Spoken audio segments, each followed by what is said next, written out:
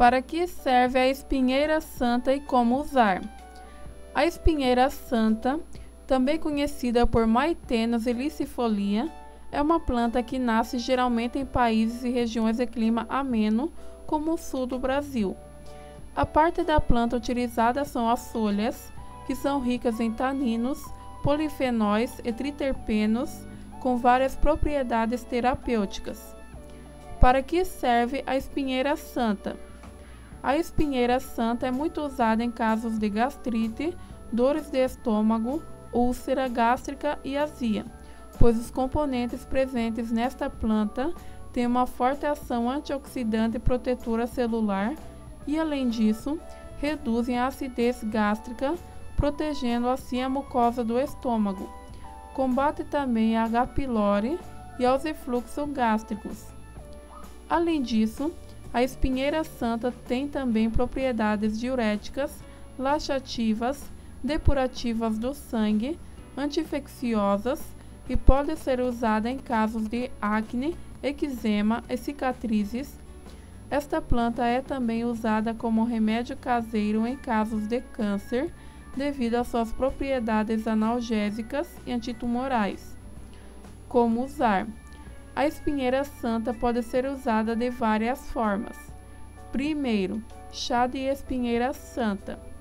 A parte da planta utilizada no chá são as folhas, utilizadas da seguinte forma: Ingredientes: uma colher de chá de folhas secas de espinheira santa, uma xícara de água fervente. Modo de preparo: adicionar as folhas de espinheira santa à água fervente Tampar e deixar repousar por cerca de 10 minutos. Coar e tomar morno. É aconselhado tomar este chá três vezes por dia em jejum ou cerca de meia hora antes das refeições. Este chá é muito eficaz para a gastrite porque diminui a acidez no estômago. Segundo, cápsulas de espinheira santa. As cápsulas de espinheira santa podem ser encontradas em farmácias numa dose de 380 mg de extrato seco de Maitenus licifolia. A dose usual é de duas cápsulas, três vezes ao dia, antes das principais refeições. Terceiro, compressas quentes de espinheira santa.